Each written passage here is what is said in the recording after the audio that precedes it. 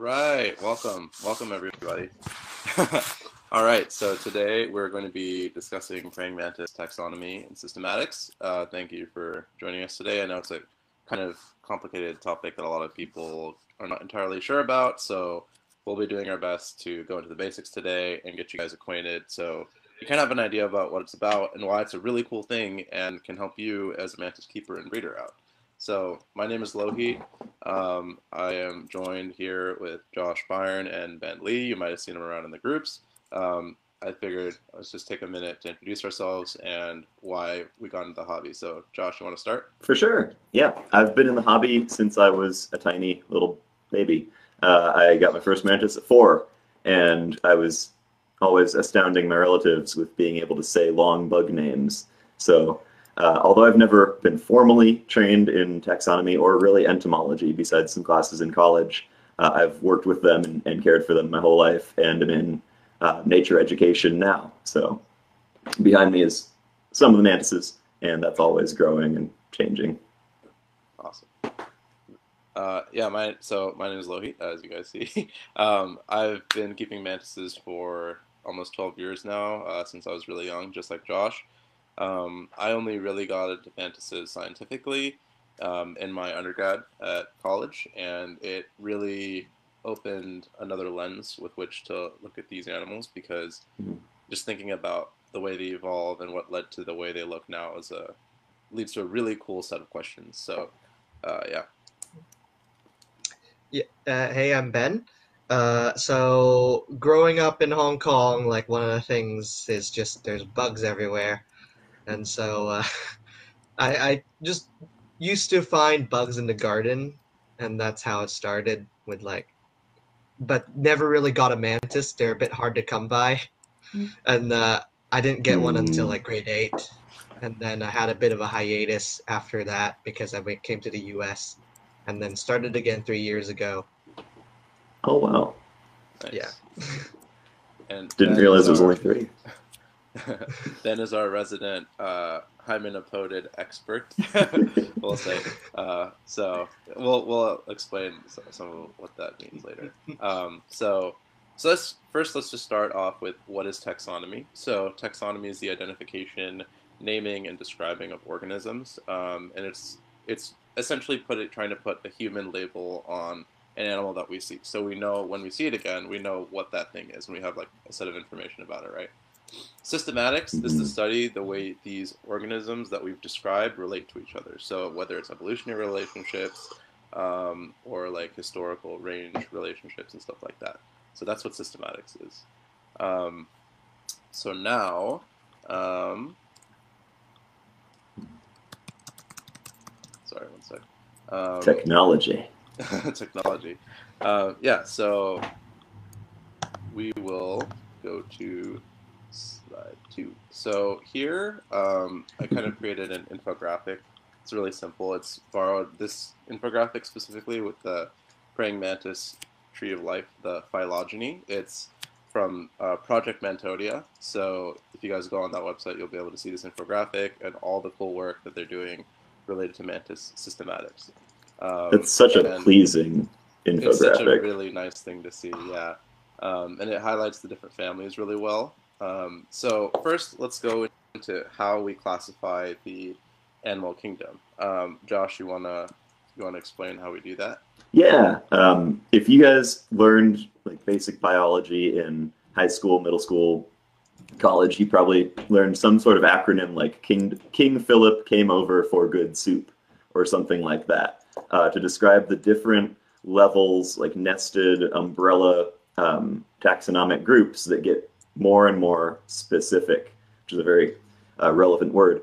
But at the broadest sense, we have all of our animals that are more related to each other than they are to all of the plants, all of the fungi, um, all of the multicellular moving things are in the animal group. And from there, each group, as it becomes more related to other members of that group, more similar to them, uh, they are divided down. So you can see in that graphic, uh, if you become more specific to chordates, which have like a spinal column, um, a vertebral column, um, then you lose the insects, which don't have that. And everything else that does and is also an animal is a chordate.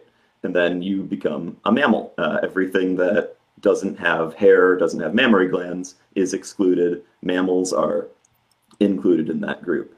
Uh, and then the carnivores, the the bear family, uh, which is going to have all the bear-like things, and then down to each individual species. And we'll define what a species exactly is later, but mm-hmm. everyone really, you know, once once you have grown up around animals, even if you haven't ever taken a biology class, um, like people in people in all sorts of indigenous communities have their sense of this is this kind of animal that associates with others of its kind, and we all develop our species concepts as we observe the animals. Yep, exactly. And for the sake of this presentation, most of what we're concerned with is going to be at the family, genus, and species level because um, we all know mantises are in one order, which is order Mantodea, um, and they're all insects. So beneath that, this further subdivision is really what we're trying to get you guys introduced to so you guys have a better mm-hmm. sense of within family similarities and differences and stuff like that. So and um, just for extra clarification, yeah. for the bear example we have up there, carnivora is the order. Uh, that carnivora for mammals is like Mantodea, all mantises. Uh, and so mantises are about as closely related to one another as dogs, pandas, and, and uh, grizzly bears and seals and all that stuff. And then if you see a family, it's going to end in AE, like A or E. Um, and that so Ursidae there is the bear family. When we talk about Mantidae, when we talk about Chaeteessidae, we're talking about a mantis family. Um, the genus and species don't have naming conventions. Like they'll look like all sorts of different, you know, names. Yeah, genus and species are kind of whatever people want to do. Um, if they're named after someone, a certain species, they'll often end with I, or if it's a a male or AE if it's named after a, fem- a woman. So you can kind of see like how how the naming uh, like they're named after someone that way. Mm-hmm. Yeah. Uh, ben, you were gonna say something. Yeah, I, I don't know. Will it be like a bit too confusing to bring up? But uh, like just that like each of these um, hierarchies are kind of arbitrary on how they are related in a sense. Yeah. So um, two families from different groups might not actually be as re- like as equally related as mm. other two mm. families compared. It really depends on when they are split in their corresponding times. Mm-hmm. Um, yeah, that makes sense. Yeah. So so like, yeah yeah. So if you imagine like if we just take this this mantis phylogeny here, this you know this evolutionary tree of the mantises, um, you can see like for example, if you're looking to look at like the hymenopodids, which are over here, right, or the oxy, which are like this entire section here, the hymenopodidae, you could imagine that they're going to be much more like closely related within that family to another group uh, or another family, for example. So these these within group relatedness um, is kind of how we group things, um, and we'll get into how we do that later as well. How scientists right. have typically oh. done it later. Um, yeah. So, but I guess the biggest question people often ask is why is taxonomy important? You know, why why do we put so much time and effort into naming and classifying these organisms? And mm. ultimately, the end goal is to document our biodiversity on the planet, right? Because if we see an organism, we don't necessarily know what it is unless we examine it. And as we better develop our species concept of what that organism is, we can better understand places where this organism lives, its life history, which is what environmental and um, and ecological necessities does it need in order to grow and survive, and we can better get to the end goal of protecting this animal. And you know, there's mm-hmm. multiple ways to do that, but the ultimate goal of taxonomy and systematics is to understand our planet's biodiversity um, and document different as many species as we can. Yeah. Right. And yeah, I, I, like that you emphasize yeah. that that's. Oh, I like that you emphasize that that's yeah. ultimately for the purpose of being able to better protect that biodiversity. And for a keeper, you know, for, for someone who raises mantises, that can be as simple as some say someone gives you a mantis that you have not seen before, and you're trying to figure out how to take care of it. By looking at it, by studying it, and you can relate it to a, a similar species you have seen before, and you'll have a, a better concept of that. And with wild animals, we can extrapolate that same principle and say, okay, say we're looking to conserve African elephants. If there have been successes with Asian elephants, those can be looked at, and you'll have a groundwork already from a similar species. Uh, and so, especially with things like mantises, when you're dealing with animals that are difficult to survey, difficult to find in their environments, you want to be able to draw on as much information from related species as you can. And if you don't know what's related to, you're not going to have any of that information. Exactly. Yeah. Oh, Ben, we're gonna say something. Nah, I'm just, I'm just agreeing. Oh, okay. Yeah, yeah, yeah. So, yeah, exactly. And being able to understand how one organism works can lend a framework to helping other organisms as well. So it's it's really really helpful to document biodiversity. So, what are some methods that systemicists use typically to um, classify and find organisms? So, well, first of all, in order to classify an organism, you have to have a physical specimen that's either alive or Mhm. dead. Um, typically, it requires the organism to be dead in order to extract, extract genetic material. Um, but typical things include insect nets, uh, you know, various kinds of insect traps, like the Malaise trap in the third picture. Um, you use a microscope often to examine very small characters, characteristics that are on the organism itself, or to look at the genital structures, um, because different species in insects have unique uh, genital structures, which can only mate with members of their own species typically. Um, and then you know just lab equipment um, as you're doing whatever um, process you're doing. So just had a micro micropipette there just to highlight. Oh, I was going to say, what is that little thing? yeah, it's just a 'Cause I- micropipette. I looked at like I know what everything is here except for that little rocket on the right. The Oh, last a thing, micropipette? Yeah. yeah. hmm Nice. Right, Not the Uh, ones I used to use. yeah so yeah i mean a lot of um, the work of taxonomy often ends up being uh, field work because if you don't have specimens or fresh material in order to conduct your analyses or to even start an analysis um, you're you know Mhm. you got to get it so a lot of it ends up being field work and really trying to find these organisms in the wild and probably one of the most important things if you're a systematicist right i'm sure um, Josh and Ben have gone collecting before. Um, understanding the animals and the way they behave in the field, like where they like to hang out, where places to collect them, is all really important to understanding the organism and finding them in order to con- conduct your analysis. Yeah, when I was younger, I used to think it was so wasteful to have you know museums full of a hundred examples of this one species. You know, I would I would just think, why can't you leave the other ninety nine or ninety eight in the wild and just take a couple examples? Um, and you know, some of the reasons as I've gotten older that I've understood why this sort of collection is important is that people do share these specimens, people do loan them out to other institutions and want to be able to look to make sure they didn't just catch one mutant and they can see the range of you know variation within one species. Uh, and so when you're making an insect collection putting it into a university or something like that those are the sort of reservoirs that people use to study so they don't have to go out and collect every time you know in an ideal world that'll reduce the amount of collection that you have to do because you can use those specimens for years and years and years Yeah, exactly. Especially when they're kept in good condition.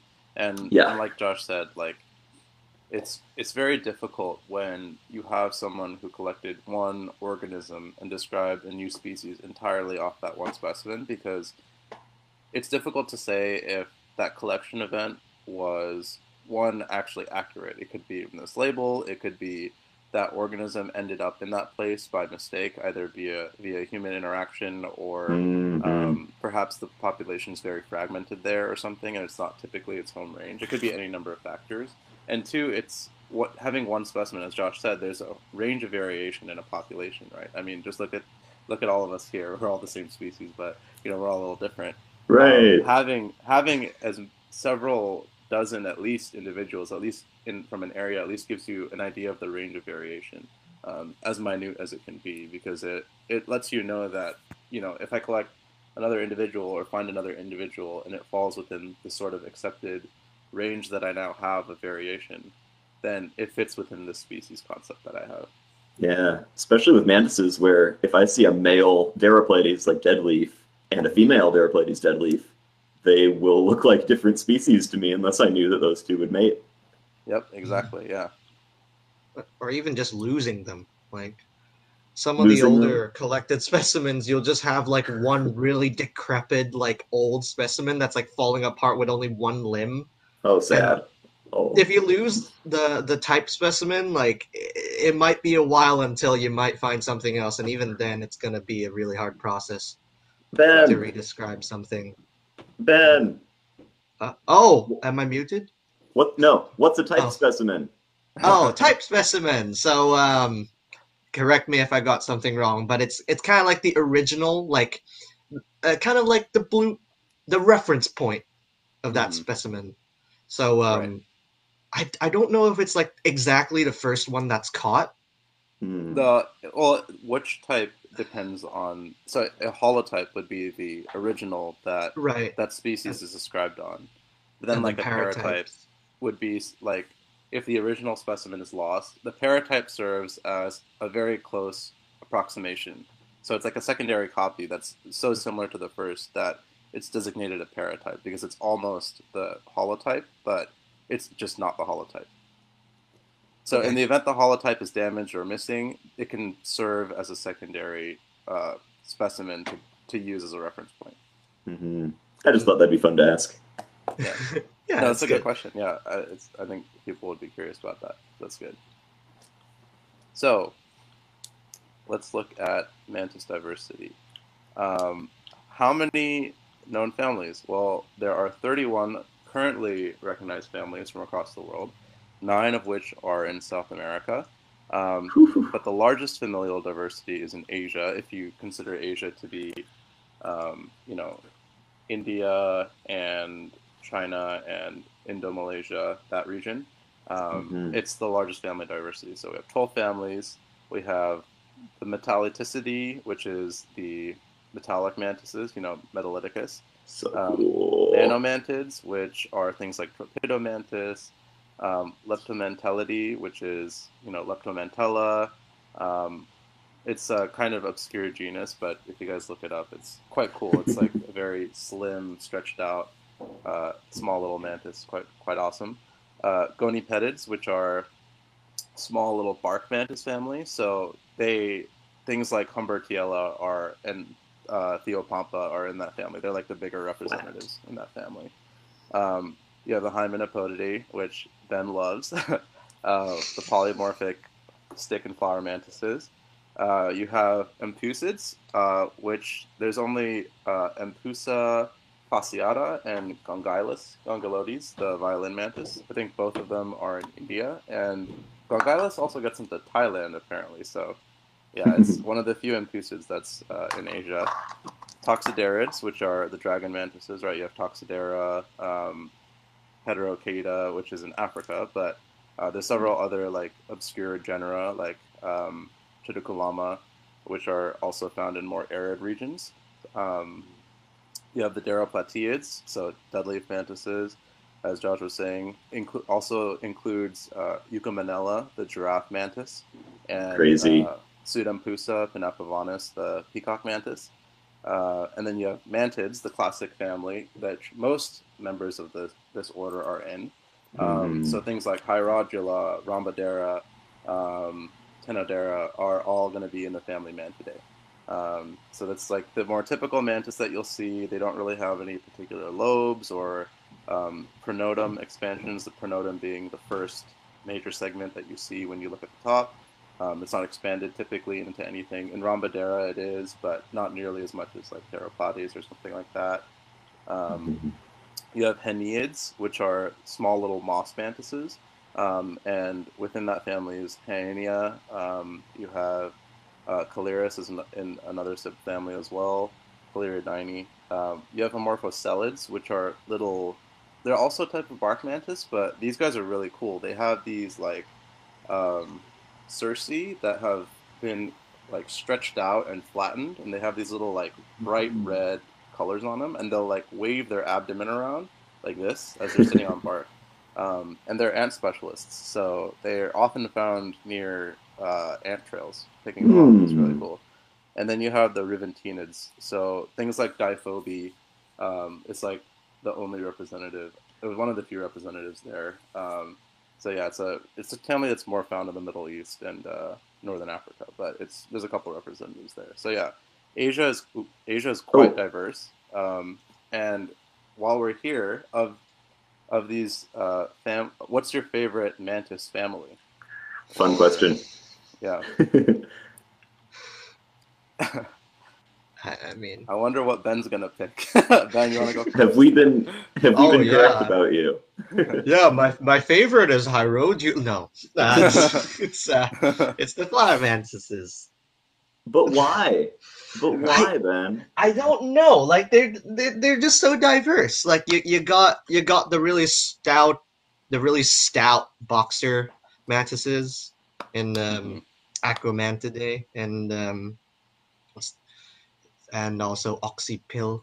Oh, wait, no, Oxypilin. Acromantinae and Oxypilinae. yeah, subfamilies. Yeah.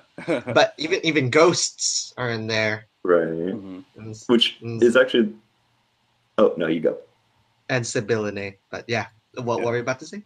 Oh, I was just going to say that leads me to a point that I'm going to make after this as well. Um, that's a good example. I love the big ones, the big, the big green boys, the big stick ones, anything enormous and Im- imposing and intimidating. I really like, uh, and I, I have to admit, I really love the toxoderids, the the cat eyes. I mean, they're the accessible ones, but then the ones that we see on on Facebook and get jealous of, just warm my heart. What about Very nice. Acalo, Acalthora, the Indian stick? Oh yeah. Oh. Croa. Yeah. Yeah, yeah, they nice too. Yeah. There's- Those legs. I have to I have to go with Josh here. I gotta say Toxoderids are one of my longtime favorites. I think they're just very interesting because they're uh, butterfly specialists. The a lot of the Asian species, especially the Toxoderini, the subfamily that includes like Toxodera and Paratoxodera, um, they're butterfly specialists. So they're very well adapted to catching butterflies, and they have very interesting um, spination on their forelimbs to help them do that. So the way their spines are arranged is really ideal for catching butterflies. Um, Yeah. and they're just really cool. I mean, as like uh, others would agree, I'm sure they're they're just really large, like elegant looking mantises. So they're quite awesome. But Um, but yeah, Yeah. Ben, when you described your Hymenopodids, you described the boxers and the ghosts and the orchids. And I think a casual observer would look at boxers, ghosts, and orchids and think that they all go into different families. You know, the, Yeah, some of the boxers are really distinct, huge front limbs. Some of the orchids are like no other mantis. You can't mistake that for another kind of animal. And then you would put the ghost probably with the dead leaves in Deropledini. Um, and that's a, an example of a family that in itself is super diverse, super wide. And then, for instance, Lohit, you could sum up the entirety of Emma- Amorphoscelidae with they have long cerci and red spots. Like they're all quite similar to each other. Uh, and so I think that that Asian list there is a, a, also a good example of how we we mentioned earlier that just because they're in the same family doesn't necessarily mean that they are incredibly similar to each other, yeah. and that taxonomy is in a way there um, still more arbitrary if you're just looking at those levels. Yeah, exactly. Um, and actually, I'm I'm glad that you uh, mentioned that really quick because I wanted to just talk about like, I think as more research has been being done, I mean, previously a lot of people did what came intuitively, as Josh said, where you look at, you know, you look at ghosts and dead leaves, and you're like, oh, you know, they're like probably pretty closely related because they they Mhm. both have like dead leaf mimics, and people looked at like all the bark mantises across the world, like um, Humbertiella and then Liturgusa in South America, and they were like, oh, you know, those guys are all bark mantises. They're probably pretty closely related. But Makes sense. as soon as genetic work was done, we're finding that that's not the case at all. And these types Right. of body plans and defensive strategies have evolved multiple times in different groups, which is really fascinating because what this means is basically like the uh, certain species or a group of mantises, either as a result of um, continents separating or an introduction to a new place, or, uh, arrive, and there's these available niches where predators um, like or other mantises haven't evolved to take advantage of them and Mhm. we see again and again there's these speciation events where they will evolve similar body plans to fill an available niche in the environment a niche being an available spot in the ecosystem where they can kind of carve out a living right they have a certain territory certain types of food that they eat certain places that they live that is typically Mm. not going to be as um, like the way they don't experience as much competition compared to other places so yeah, we see this like repeated evolution of the similar body type. So things like the Dragusa and Theopompa, and the Dragusa being in South America, Theopompa being in Asia, and Theopompella being in Africa, they've all evolved these very similar body plans, but they're all from different ancestral origins. So Even going this order is quite a cool case of Yeah. like repeated convergent evolution, where there's these similar body plans that coincide across the world independently. which Though is so confusing. Yeah. yes. So it It's- is it's- bothering me a little bit with the with the flowers though. Like uh, Oh yeah. Mhm. so I, I remember reading that that one paper uh like one one of the things with the hym- hymenopodids is that they don't really have a synapomorphy which um, a synapomorphy is like a trait that ties in and identifies it as that group Good in a way- definition. Mhm. that's the definition of synapomorphy. And um, I don't think hymenopodids have one, or it's like a very, very specific one Mm. that I don't remember. I It's- I think I think it's a combination of a genetic marker and the number of s- posteroventral spines, which are going to be the Ah. spines. If you imagine the mantis forelimb, it's going to be the outer spines that you'll see, the really big ones. Mhm. I think they typically have four, in some rare cases five, but I think it's a combination of that with genital characters and the genomic markers that put them together. Well, this leads me to a, I think a question that'll be good for um, all the all the non-scientists as well. Um, why are genetic factors a more definitive way of determining the species relatedness than morphological characters? You know, why does Right. that supersede the appearance? Right. So, uh, as I was saying before, you have these like repeated evolutions of similar body types, right? So, if you're going to go purely morphological, I'm not saying that morphological characters aren't helpful. Morphology being a study of the body and the anatomy and the shape of the body and body proportions and things like that. Um, not saying that it's not helpful, but you can easily be led astray into thinking that a similar body shape or body type means relatedness automatically. And we know that's not the case because um, genes evolve, certain genes evolve in certain rates. And when, if you can, if you compare the genomes of certain, uh, or compare the genes, certain genes between species, and you examine the differences and mutations of certain um, certain sections of that gene, then based on the rate of evolution of those genes, you'll know that this species and this species is like this distance apart, and that's typically how how we organize and categorize um, Mhm. and like create a phylogeny. We we examine like evolutionary rates between different sections of a gene, and multi- in multiple genes especially too, um, not just one. So Mhm. Um, so yeah, the next thing I was gonna bring like go to is what makes a family, since we're kind of segueing there. Um, nice, nice. yeah, so uh, I guess we, we started talking about um, synapomorphies, which are diagnostic characters that create um, that unite things under a certain clade. Um, that can be a clade being like a group uh, or a section of phylogeny that's uh, you know monophyletic. So monophyletic means it's not. It's uh, it's a group that shares some sort of character. There's All not a descendants. member or a, Yeah. yeah, all descendants, yeah, share that character. Like we would Um, want in an ideal taxonomic world, we would want all of our families to have come from. E- each of them has one common ancestor that it would have come from, right? Yes. Yeah. hmm Yeah. So typically, um, in in modern taxonomy, um, in addition to genomic methods that we mentioned, um, once the phylogeny is kind of sorted out uh, using uh, genetic comparison, then people try to start applying morphological characters or external characteristics to each family, so that when you Mhm. see at so then you have now that you have an idea for what makes like what characters are diagnostic of a certain family if you now see something else that you don't know then you can put it in a certain family based on these characters that we've now designated belong to that family yeah.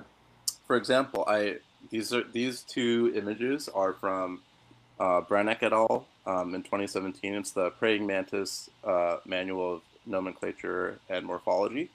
Um, so this left image is just kind of highlighting the different parts, the large parts of the mantis. Um, Mhm. within within each of these sections, they can be broken down further, but these are kind of like the major sections that um, a taxonomist should be readily familiar with. Um, the picture on the right, I, I really like because it So highlights cool. a bunch of different mantis forelimbs, and you can really see how the spination is so different in each one. So, um, image A is Chaeteessa. It's a uh, Josh mentioned the family earlier. It's a really primitive mantis species, very roach-like. Uh, they don't have any solid spines. Mhm. Uh, these are all kind of flimsy, kind of uh, softer spines, and they don't have a large apical spine either, like the other species you can see. They don't have this big spine at the end of the last segment. So this Yeah, is a I- really early branching group. I feel um, like a, hiss- a hissing cockroach could kill something as effectively with its front legs as one of those if could. not if not more, honestly. Th- These guys have Yeah. spines. um, B is Metallyticus, so you can see, you know, it's got that really long spine here. Um, this is one of the discoidal spines. So this spine is really elongated for some reason. We don't know why yet.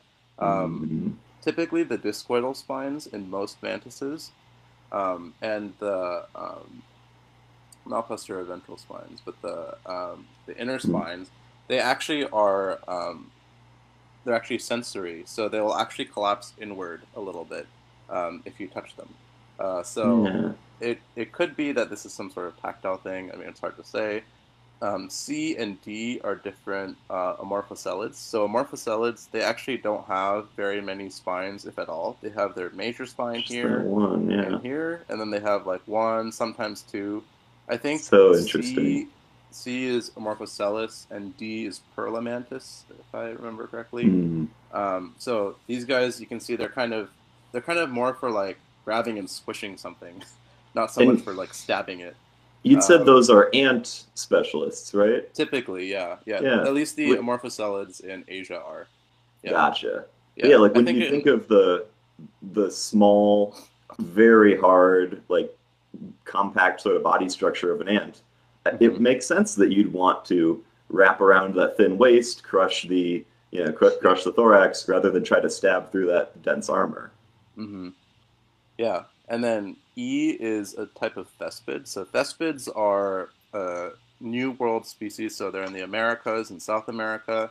Um, they're typically these long, thin mantises, though not always. Some of them are very stout and robust, but um, many of them have evolved these like spearing forelimbs where they have several spines at the end like this and a really short segment, and they'll use it to actually just stab their prey, um, which is pretty cool. It's pretty metal. Um, so you Mhm. can imagine they probably typically go after softer bodied stuff. Um, F is I think schizocephala or something That's like that. Well, what what I would Um, guess. Little weirdos.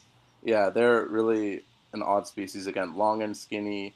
Uh, and then G is a type of oxypilline. Uh, it's one of the boxer mantises. I forget which species exactly. Mhm. um, So I would have almost see- guessed maybe I don't know. I, I would have guessed that too, or maybe even acromantis. Oh, maybe. So- I mean, I, I might be misremembering, honestly, but yeah. Oh yeah, you were, what were you gonna say, Josh? Yeah. Oh, two notes from this, um, Mhm. both very casual. Number one, that Metallyticus front leg with the gigantic spike would make an Mhm. amazing metal album cover as well. Um, True. and second, I think we've got an upcoming photo contest of posting the front leg of a mantis and seeing who can identify it just from that. Oh, that's true. Yeah, that'd be awesome. Yeah, That'll be oh, that's pretty cool. That's pretty cool. Yeah. Also, I, I the uh, Huh? no, you go No, first. go, go ahead. Oh, I, I was Oh, just gonna say like. All right, Ben, go. I'll. I'll Okay. uh, I just I just want to say if you got a chance, like uh, you should look up like the Schizocephala, like full arm, because this isn't really showing Oh, how weird. weird. they are completely.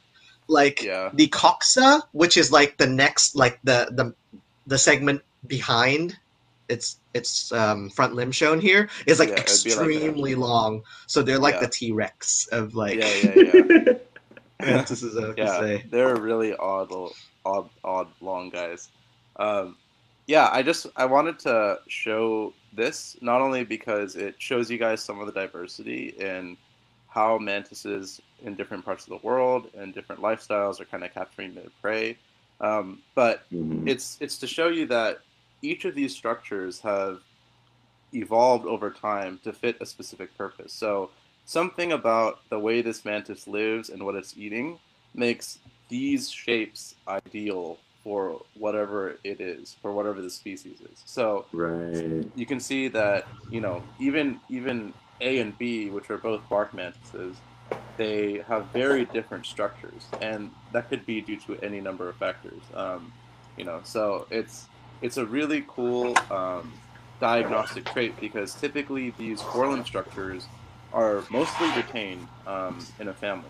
Things like the number of posteroventral spines, which are these outer spines, which are going to be right here. Those are typically retained in a family. They'll usually fall within a certain range, with usually a difference of two, so like six to eight, or like three to four, or something like that. Um, and same with the number of uh, like inner spines as well. Those will typically also fall into a range. And these these spination patterns can be used as a diagnostic character because it's not like certain members of the family are just going to rapidly evolve a, a large difference in the number of spines. It takes time for these spines to evolve the way they do, or the structure to evolve the way they do. So these are very useful diagnostic characters. Um, and then in addition to that, you have things like you use comparative morphology. So comparative morphology, as I said, morphology is the study of the body and its shape and the proportions. Comparative morphology is just comparing body shape and proportions to other individuals and other species. So you're examining, for example, like the height of the head to, you know, in one species versus another, or like the ratio of the width of the pronotum to the length of the pronotum, um, things like that. And over time, you'll start to notice that, again, in, in certain families, typically these fall under certain patterns um, and certain ranges. And so you can kind of use those as diagnostic characters as well. Um, and then the most popular uh, method and the most popular diagnostic character is genital characters. So um, male mantises have three um, sclerites, which are three small segments that make up their genital complex. And typically, scientists will remove these and examine them under a microscope and describe the shape and um, the proportions of different sections. And using that, they can not only either identify it as a new species or um, identify it to a species, but they can use it to examine similarities within related species and unite them under a certain family by shared character. So it's a combination of many, many things. Um, this is uh, for the morphology, at least. Um, yeah, so next I wanted to go into what makes a species, um, which is a bit, which is a much more complicated, I think, subject because as Ben mentioned and as Josh has mentioned, the way we are putting labels on animals is somewhat arbitrary because it's humans trying to classify other things into this kind of box, right? We're trying to say that everything that fits in this box is one thing, but as we know with variation, there's always going to be a few individuals that are kind of just on the edge of the box or just outside the box, but then they don't fit into another box. So then what do you do, right? So uh, first, um, I don't know how your guys' uh, paleo history is, um, but I wanted to talk about um, Pangea and plate tectonics if you guys are up for that. So, um, yeah, uh, I, just to introduce the concept of Pangea. Pangea was a supercontinent. Um, it's originally how all the landmasses on Earth were together, and over time they began to split apart. And we know that you know continents move slightly over time, um, but this movement in land masses can lead to populations being split, populations colliding, um, and that can cause speciation events by distance, right? So um, I think, I mean, I know uh, I chatted with Ben a lot about orchid mantises and their split population. You want to talk a little bit, bit about that, Ben, since it's kind of like a pretty important thing that's come up recently for orchid mantis keepers. Yeah, so um, they have so orchid mantises. Uh, supposedly, they are their own. Like, there's only one species, Hymenopus coronatus. But um, historically, there has been two other species uh, identified that have been uh, unified now, which is um, Hymenopus bicornis and Hymenopus coronatoides. I think coronatoides has been is, is found in China, and Bicornis is in Indonesia. Would be my first guess. Like, but but then they were all merged into one, which is Coronatus, which now we all know and we have. But um, later on, like we kept like starting in the hobby, we start noticing like each place each locality of orchid mantises kind of had has its own like minute variations. So, for example, the Malaysian uh, orchid mantises from Malaysia are actually um, slightly smaller, relatively, I think. And in Indonesia, Indian it's the other other way. Oh, it's the other way around. In, yeah, Malaysia's bigger. Okay, Malaysia's bigger, Indonesia's yeah. smaller, and they are also found in Thailand, um, Vietnam, even all the way in Yunnan, China which uh, it's historically speaking like that whole strip in Southeast Asia is like a Southeast Asian like rainforest. It's all interconnected, and so whether they are a species or not, uh, whether these um, these different localities really are different species or just like a slight local variation, we're not sure. But some have reported the reason at least hypothesized that uh, the reason why sometimes orchid oots don't hatch is because they were a male and female mantis from a different like local so maybe an indonesian one mated with a malaysian one and maybe that actually produced an infertile ooth so we're not sure yeah but we want to make sure to yeah, keep yeah. it within the locality mm-hmm. just to be yes. sure yeah, yeah. and uh, yeah, yeah, Josh, go ahead. Oh, I was just going to say that also might be the reason why, uh, if you guys are seeing mantises posted with just the genus name, uh, maybe the, like, for instance, Heterochaeta sp- SP with a period, or SPP. That is short for species or multiple species, and they would say that if they aren't certain what the species is. Say somebody finds one out in Africa in a location where there are multiple species, and it's a nymph, and they haven't been able to look at the genitalia or look at that those adult features to be sure what it is.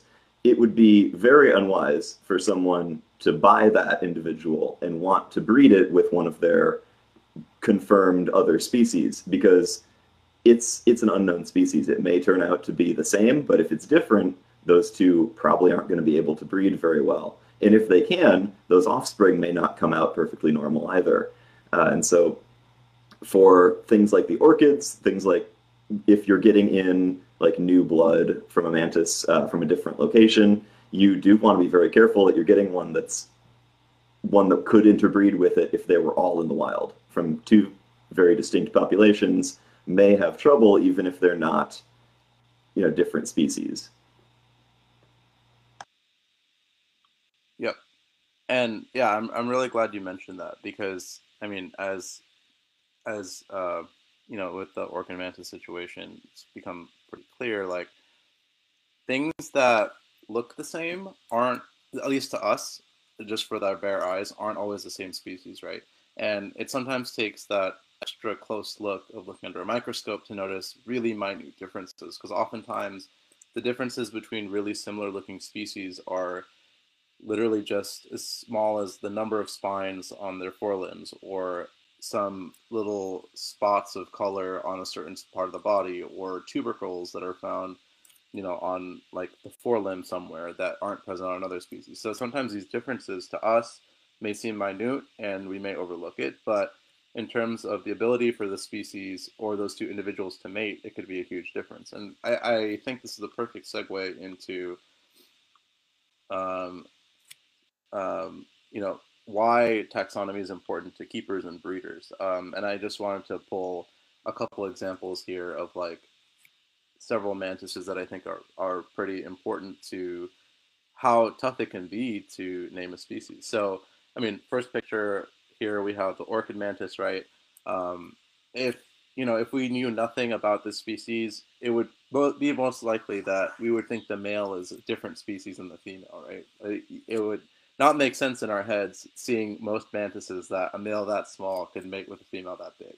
But yet, uh, this is the case. Um, in the second panel here, we have um, Metacanthops uh, amazonica. Uh, this is a recently described genus, actually. Um, this male was previously placed in the genus Metilia, um, but after finding the female, um, researchers realized that it is a completely different genus. Um, and there's several like features that you know distinguish it from the males, but this is, can be a reason why um, single individual descriptions can be problematic, um, at least in terms of classifying organisms, because it's not truly representative of the population and sexual dimorphism or variation among the species. So, um, yeah, and and just like Josh was saying, oftentimes uh, when people are finding mantises in the wild, there's several. There's going to be several similar looking species in the area, um, and making sure that we are collecting the same species or we're actually breeding the same species is pretty important as hobbyists. Yeah, Ben, you were going to say something.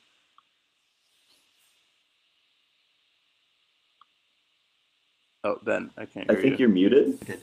I, I want to. Okay, yeah, I'm muted. Sorry.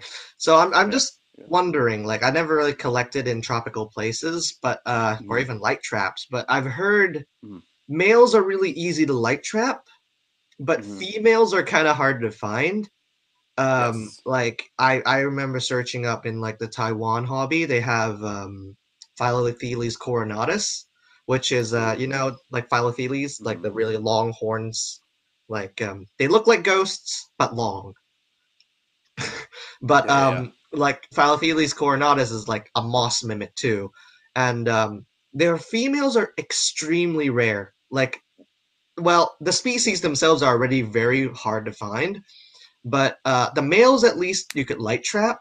The females, like, they are even rarer than that. Like, a light trap could never really get it, and so uh, I wonder if like that occurs with other species too. Like, you just don't even have a female, or like you only have few females found and a bunch of males from light traps. Yeah. Um, mm-hmm. Oh, some with some beetles that's the case too, where one sex will be much more likely to be attracted to either bait or lights. Uh, and then there are also weird cases, um, particularly in paleontology and in like oceanic biology, where they'll only have certain individuals um, like a certain sex. And there was a really cool story that came up uh, with something called a whale fish, um, where the females, males, and young all looked incredibly different and were kept in collections for so long where they thought, oh, it's kind of weird that we only have males of this one species. Uh, and then some genetic testing revealed that they, the female, young, and male were all the same species that looked super different in each stage of its life. Um, and so I think, Ben, that you're you're probably onto something where there, there are quite a few species, especially those that have been described by one specimen, where maybe it, maybe the female's out there and unknown, or maybe it's a, a weird one of another species. Yeah, um, and I've collected only a little bit in the tropics, but Yeah, males are much more prevalent at lights, just because you know in mantises males are typically the ones that are able to fly. Females can sometimes fly, but they're typically not as attracted to lights, um, even if they can, with the exception of a few uh, genera, um, like Vates being an example. Females and males both will fly to lights, but that that is a reason why it, it can be difficult, you know, to when you're presented with a new individual of something and you only have a male as representative because it's much easier to collect. Um, it's difficult to to find a female or even describe the species if you know if you're not comfortable describing it off one specimen. So it's definitely a tough balance because you either choose to note the biodiversity and you might be inaccurate in that assessment, or you choose to leave it and you might never again find that individual. You know that's just how the nature of finding these animals are in the in the wild. You know, they're just very good at what they do. Um, finding them just walking around is is really unlikely. So, um, yeah, um, yeah, and so I I guess as we're wrapping this up, just there's a Q and A at the end, guys. So if you guys have any questions, feel free to ask. We'll get to them. We're almost done with our our portion, so we'll stop blabbing so much. um, but yeah, so I think I just wanted to summarize by kind of tying together points that we made throughout uh, throughout the segment and talking about why taxonomy is ultimately useful to breeders and keepers. Right, as as Josh said, um, understanding how one species lives and uh, can be taken care of is an excellent template to be able to keep other species that are related to it, especially if they're in the same region. Um, you just might need to modify a few things based on the species because you know there there is going to be species specific variation, but it might not be much, if at all. So it's a great way to not only understand the biology of the animal, but also how to keep it in captivity. Um, and as Ben was talking about with the Hymenopus problem, um, we want to keep track of locales as much as possible. It's very important that we do so because we the last thing we want to do is send a male or a female to a friend who's trying to breed a species and we got that same species from a different locale, and it turns out to actually be a different species. Um, it's estimated that something like 40 to 50 percent, if not more, of our biodiversity in insects is still undescribed. So there's a lot of animals that we haven't documented properly yet that are out there, and we don't know if what we have might be one of those species that looks the same as a species that we know has been described. Um, and there's several cases of this. I mean, there's several genera in mantises that are very confusing, right? So you have like Creobroter, Hierodula, uh, Sphodromantis. They're all very similar looking, a lot of them. Um, they, they're separated only by a few genital characters or a few very minute coloration differences. Um, and it can lead to a lot of confusion because if you have individuals from different locales and you try to mate them together thinking they're the same species because they were labeled that way, you might not end up with fertile eggs, and then you just lost both. So you know it's important to keep track of locales and where you're getting what. Uh, yeah, and I think um, I don't know uh, if Josh, you maybe want to take this. Uh, how cool it is that we have the opportunity to keep some of these species because um, it, it's happened several times that um, species that haven't been described found their way into the mantis hobby before they're described by scientists. I think uh, Rhombomantis longipennis, the candy mantis, is a perfect example. Um, I know Josh really loves that species, so you want to chat a bit about um, situations like that. Yeah, I mean, you were the one who started posting pictures of those and making them known. I still haven't gotten to keep them.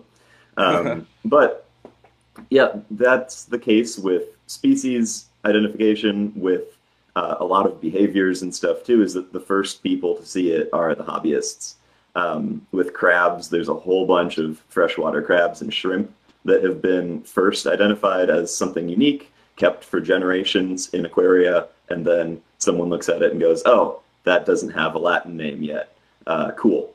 And with mantises, I really would not be surprised if that was the case with some of those confusing genera like Creobroter, uh, or with the fact that we as hobbyists are able to keep large, large numbers of different Hierodula species, different Rhombodera species, um, we're going to be able to provide that specimen base and that knowledge base um, for researchers who might want to finally sit down and divide those up in a way that makes a little bit more sense.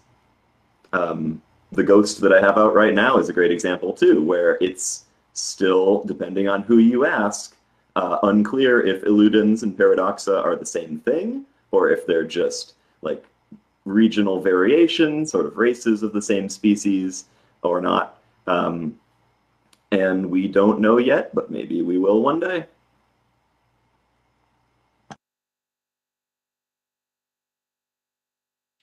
Yeah, perfect. Yeah, uh, exactly. I, I think there's we like as readers and keepers, you have a really awesome chance to see a lot of cool things, and it's just for for the reasons Josh said above. Like, oftentimes stuff we have like we don't actually know what it is. Like people might think they know and they just give it a label, but it's possible it's incorrect. You know.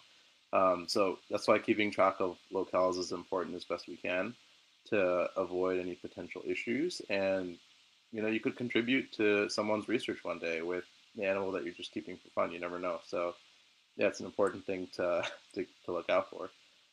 Um, so uh, do you guys have any like closing thoughts? Um,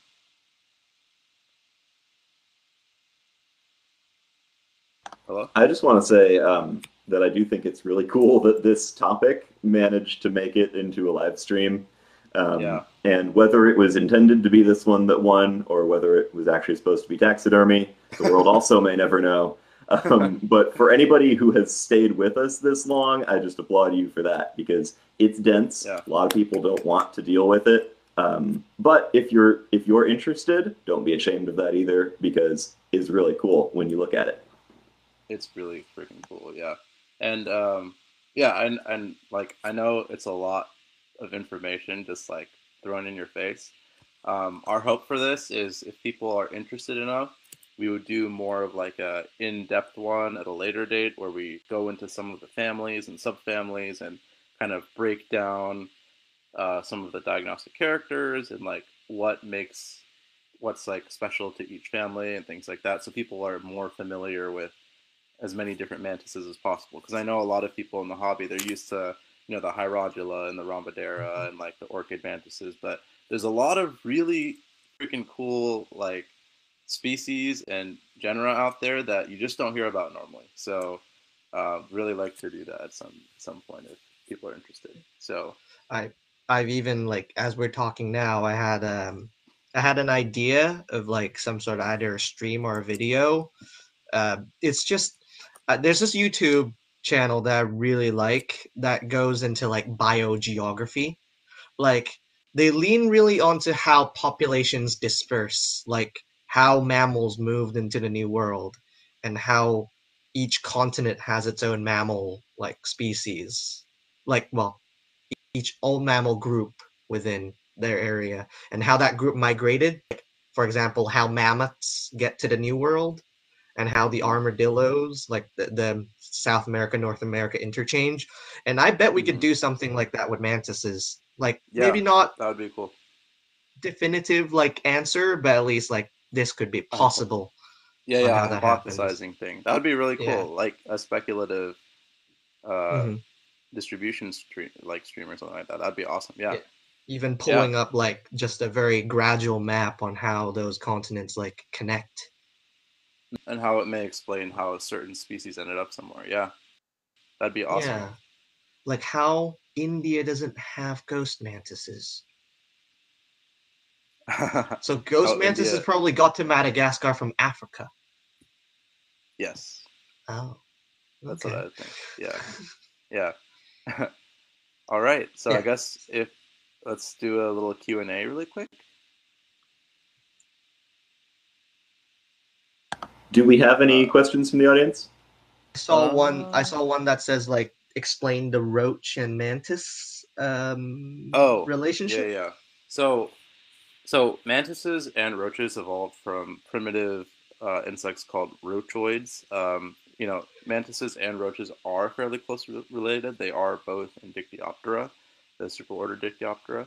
Um, but other than that, they did split pretty a, a long while ago. There's there's several uh, intermediate orders between roaches and mantises that are now extinct. Um, so I they're probably separated. I think it's like something around like 135 million years or something like that separates them evolutionarily, if not a little bit more. I think the old it's and that's the only estimated date I think because the oldest man Is that Jurassic? known is yeah yeah some yeah Jurassic yeah late Jurassic I believe Okay. or early Cretaceous. So they're separated by a long ways, um, long ways away, if not if not. So more. if we- um, if we put it that way, then uh, in that case, going back to um, like when things split, a mantis Mm-hmm. and cockroach, even though they're relatives, they are still more distantly related to each other than we are to a dog, yes yes Be- because um, they split way earlier than we did. Yeah, put it that way. yeah. Yeah, that's that's a good way to give people a frame of reference. They're they are that different. There's Mhm. that much time of evolution separating these two groups of animals versus us. so it's pretty crazy to think about. Um, all right, let's see. And then someone asked, I heard there may be two new Deroplatys species being reintroduced into the hobby, Rhombica and Sarawaca. Um, yeah, so I'm not on top of my Asia trop- or paleotropical taxonomy at the species level. I, if I remember correctly, I think Rhombica was a synonym for Deroplatys lobata, and Sarawaca was a synonym for Deroplatys truncata. So I don't think that they're any longer a valid species. So just to explain to people why that kind of synonymy occurs, that happens when a species has been described and then another researcher finds another individual of a species of that species, but it may look slightly different. Again, this is part of the natural variation that we were mentioning earlier. And based on this natural variation that they see in either like a few individuals that they caught, they describe it as a new species. But then further examination at a later date by genital structures or other characteristics, um, people realize that it's a level of natural variation that's present within the species. And so the species that was described first keeps its species epithet. So in this case, Deroplatys truncata keeps its it keeps that species. Sarawaca is now within Deroplatys truncata. So now there's only Deroplatys truncata left, and Deroplatys sarawaca is no longer a valid valid species. Just like what happened with the orchids, but um, Yes. they got they might possibly be split again. So it could happen. Yeah. Yes. Yeah. Yeah, There's a lot of there, there is splitting and collapsing that occurs in taxonomy, and it's just entirely based on what specimens we have and the latest method of categorization that we use, whether that's genomic or morphological.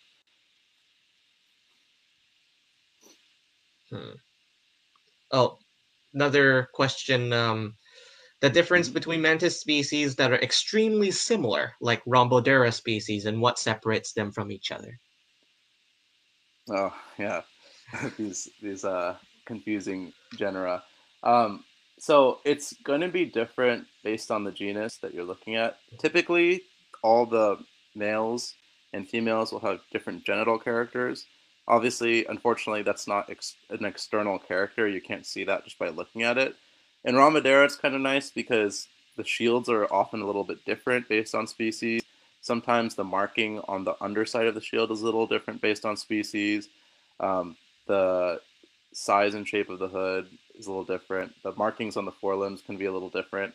I mean, other than that, externally, there's not that much that separates them besides the actual range that you might find them. But even then, several species overlap in range. So the best the best way for Rhombodera is genital characters, but for other um, other genera, it can be different um, and much more confusing. so or or pull up a magnifying glass because um like for Creobroters, I not like I'm absolutely not sure on how to identify them, but I have seen like I forgot what species is which, but like there are some that are identified by like a few s- few little spikes at the like pronotum edge could be Oh, like really? Okay. diagnostic traits like like there there Oh. are slight different like Okay. serrations and like Gotcha, even gotcha.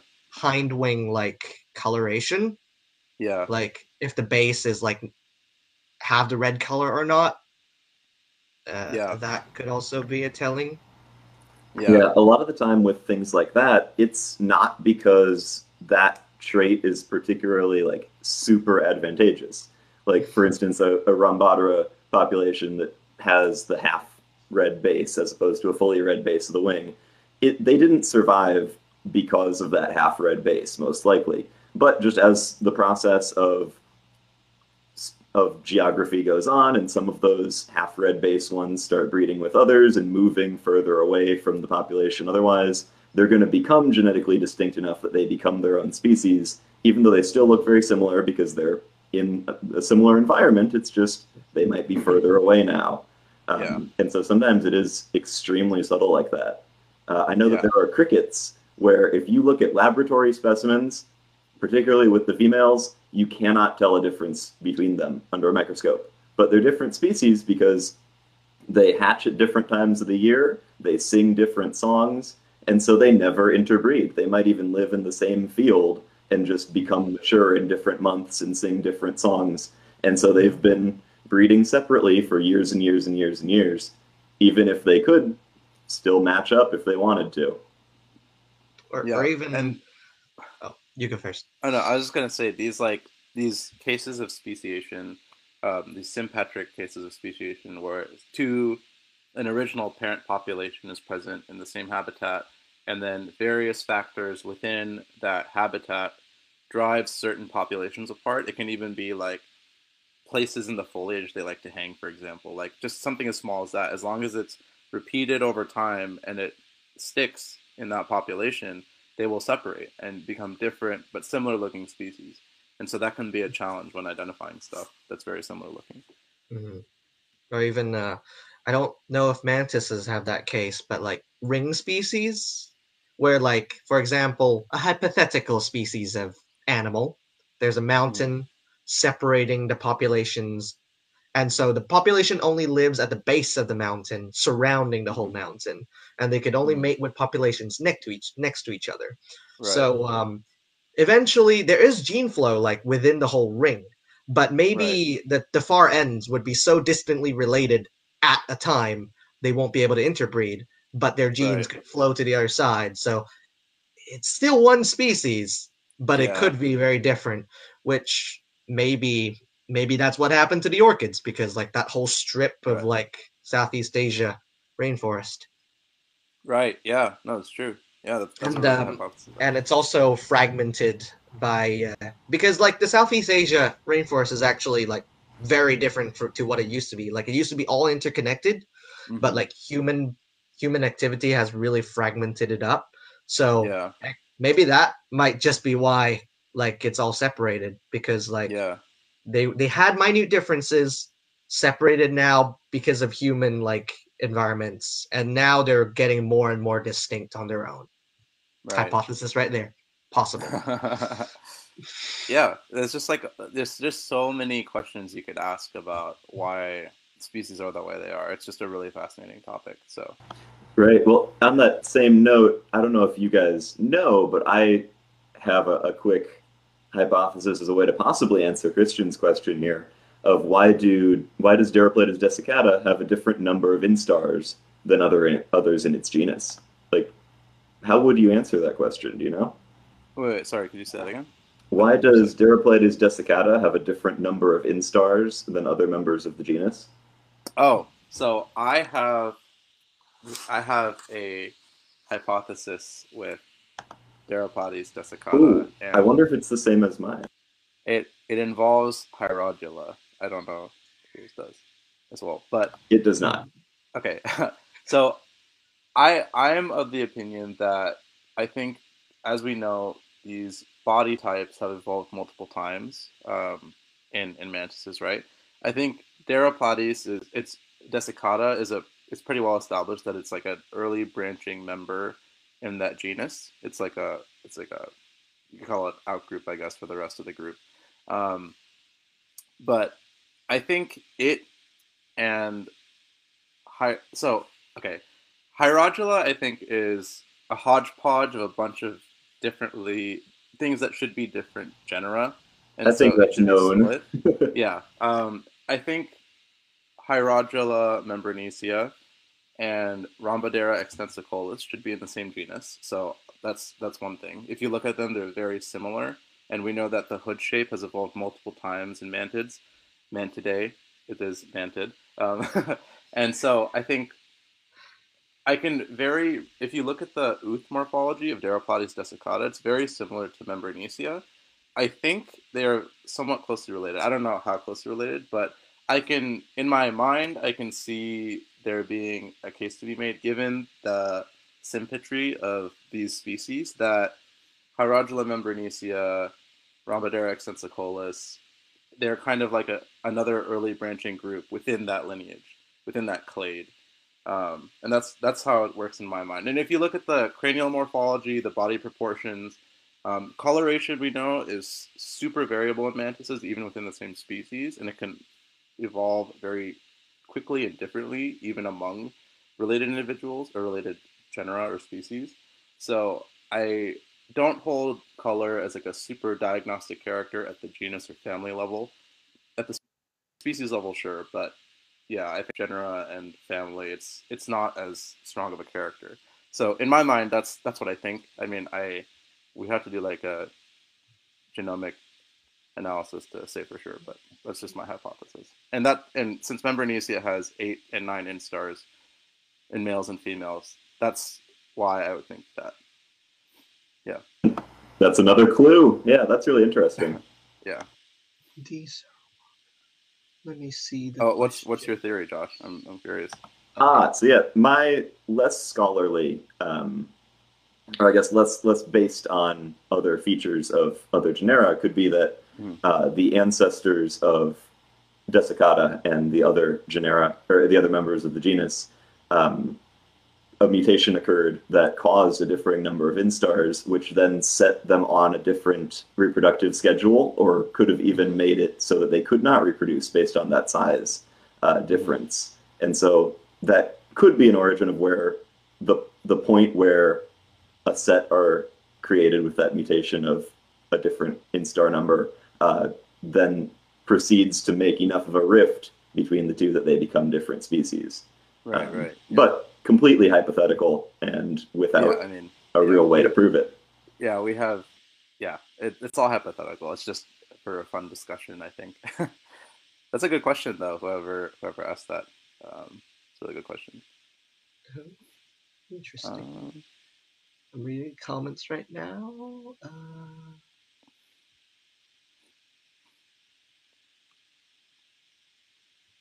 If they mate and produce offspring, the progeny will be infertile. Well, if they're hybrids. Uh, yeah, typ- typically they're either sterile or they fail to hatch. It's one of the two. And that's um, the definition of a speak- species, loosely speaking. Yeah, that's the most yeah. widely accepted definition of species. Yeah. But then what do you do about things like servals and domestic cats which create like savanna cats, you know? It it's it's it's difficult because based on the group of animals you're talking about, the rules don't apply the same. Um, and even for plants, right? Plants can hybridize with all sorts of other species and create oh, hybrids that are perfectly fine to reproduce. So it's like, it's it's really difficult. Um, I think you could make the case for insects for that being a case. The only problem with testing if a species is a distinct species by mating different combinations is that it's impractical. You know, we have no one was like it's already difficult enough to mate some species, but if if you were to try to get all the representative potential different species and try all combinations, it's like it's just impossible to do. You know, mm. it's so genomic methods, genomic comparison, and and genital comparison is, is kind of the best way we have right now. The best we can do. Yeah. Let's see. A little interesting thing that Phil mentioned. Um, historically, mantises are only collected in daylight and so that's before electricity is available. So um, that's why the male and female ratio is kind of equal. But now we have light traps.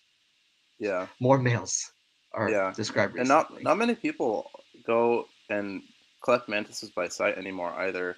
It's typically just done by light trapping or malaise trapping, which is you know malaise trapping is when insects fly into a net and climb up and then fall into like a, a little cup with like a, some sort of poison or something. Um, and of course, that's going to catch flying insects, which are typically going to be males as well. So it's it's pretty hard to sample females. Yeah. With well, unless accidental you're net swings. Yeah, and you, you don't see cases, any mantises in the bush. You swing your net into it to catch a bee, and the next thing you know, oh look, there's a little uh, Tenodera nymph in there. That's seeing a mantis in a sweep netting swing is just the best feeling. Um, You're like, oh, I didn't even mean to get you.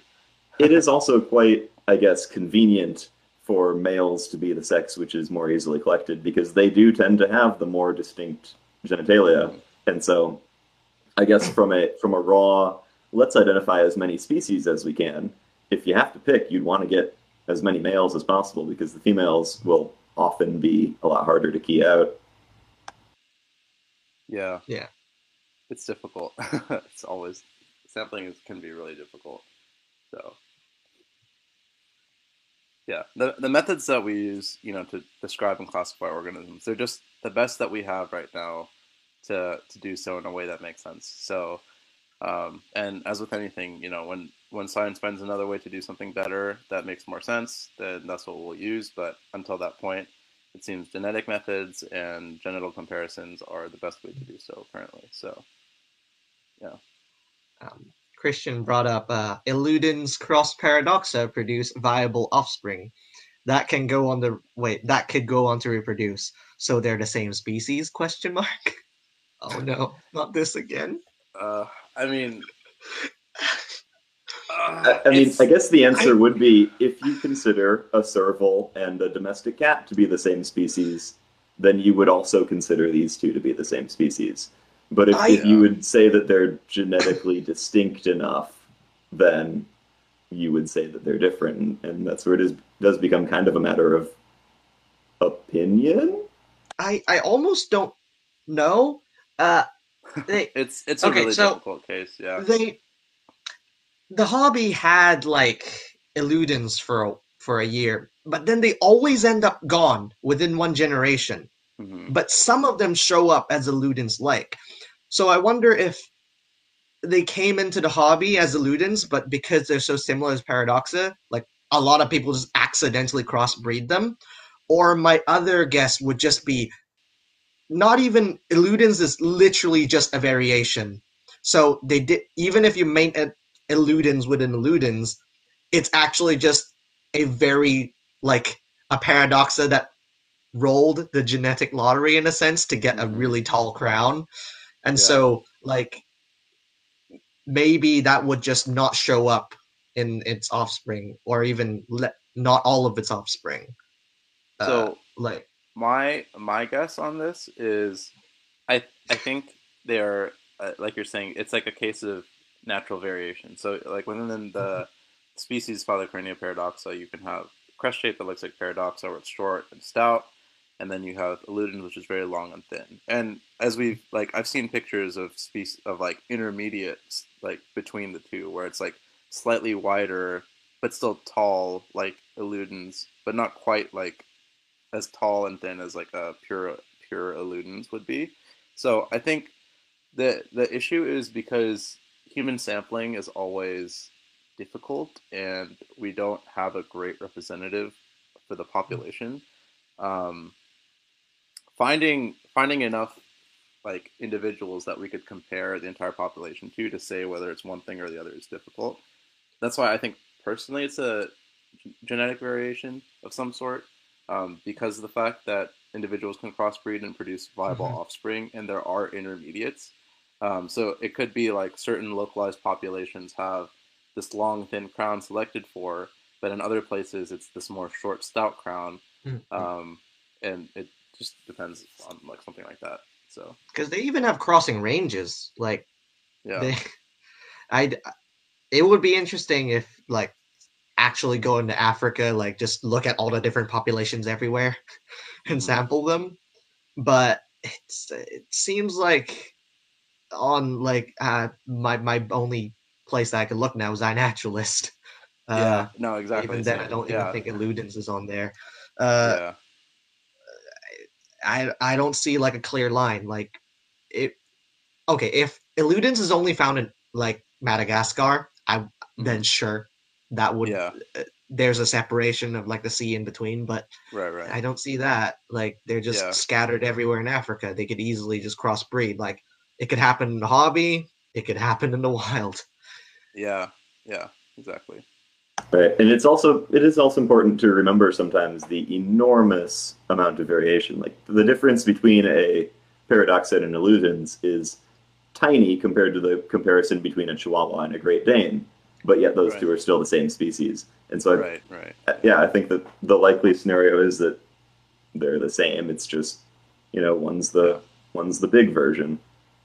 Right. Yeah, exactly. I mean, even like yeah, like even for species that are unequivocally the same species, like there's a crazy amount of variation, right? Like if you like go to Google and you look at a bunch of different Choeradodis rhombicollis pronotum shapes, there's so much variation. Like it's it's pretty incredible, and there's a good reason why. Um, initially, they were they were split into like three or four species. So, um, yeah, I mean, natural variation is very real, and it can manifest in like a huge difference. So,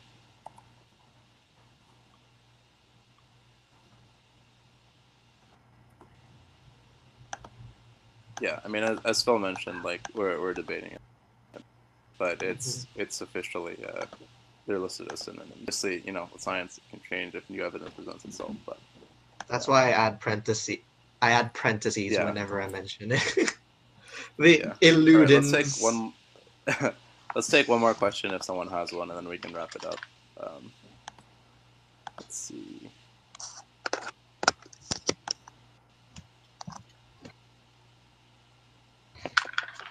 Seems like no other questions.